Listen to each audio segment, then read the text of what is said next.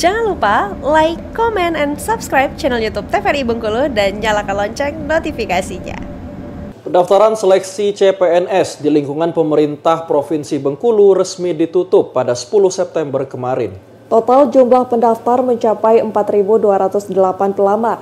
Meski demikian, terdapat 12 jabatan yang nihil pelamar. Badan Kepegawaian Provinsi Bengkulu mencatat pelamar CPNS pemerintah Provinsi Bengkulu mencapai 4.208 orang pendaftar. Dari jumlah tersebut, 1.839 berkas telah diverifikasi. Untuk sementara, ada sebanyak 320 pelamar yang tidak memenuhi syarat atau TMS. Tahapan verifikasi berkas dilakukan sampai dengan 14 September mendatang. Selain itu, terdapat 12 jabatan yang nihil pelamar. 10 di antaranya merupakan jabatan dokter spesialis untuk penempatan RSUD M. Yunus maupun RSKJ Suprapto Bengkulu. Sepinya peminat pada formasi tersebut telah terjadi sejak seleksi CPNS sebelumnya.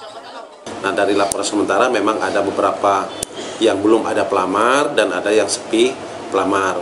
Nah terkhusus dengan tenaga kesehatan, kita juga belum tahu apa faktor penyebab daripada kurangnya pelamar. Ini apakah karena ini pelamarnya secara nasional, kabupaten kota dan provinsi.